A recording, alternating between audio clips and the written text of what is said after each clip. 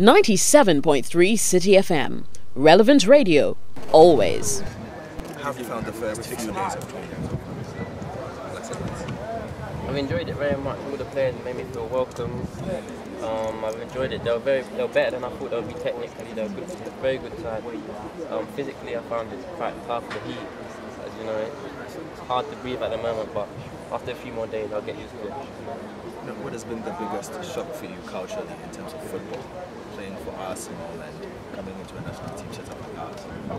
Um, I think Ghana is very, it's different Everyone's together. It's more of a family, which is nice.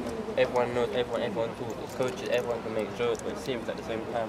I think that's very important, especially international. We're going away, we need to be together, be a family. I think that's very important. Now, you're one player everybody knows, like in the sporting facilities. You really wanted to be a part of this team. What was your motivation? Um, my family really. Um, my dad and my, my nan passed away um, sadly last year.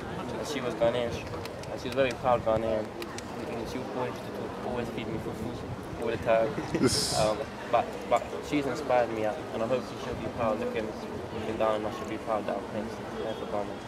And you know, in terms of the under 20s, you know, we know it's, it's helped players advance their careers. Are you hoping that you can get a similar kick on from, from going to to Turkey? Yeah, um, definitely. That's the one the main things.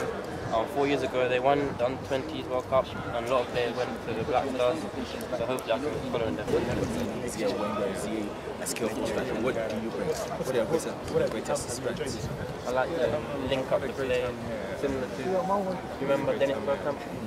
Yeah, I like to play like that number 10, score, create passes, keep the ball moving, and help us to score goals and win games. I like to play number 10, so And what's your ultimate aim to make it to the Black Stars? yeah, right. definitely. It's good in the under 20s and hope maybe next year, you never know, the World Cup, so could maybe go to the Black Stars.